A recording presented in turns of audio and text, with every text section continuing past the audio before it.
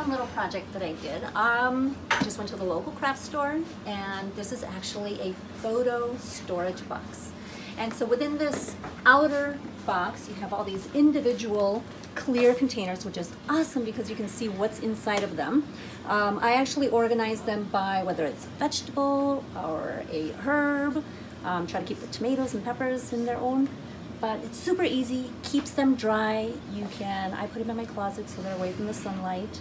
And it's just an amazing way to keep your seeds organized. Do you have anything that? The only thing that I do is when they're in here like this, is I put a little label at the top so it says tomatoes or cabbage or hot peppers or sweet peppers type of thing so that I don't have to pick each individual one up looking for my tomatoes. I just go, tomatoes, dingo, you know? So it's just an extra step. When you get two, you're a seed enthusiast. Just a fun way to store your seeds.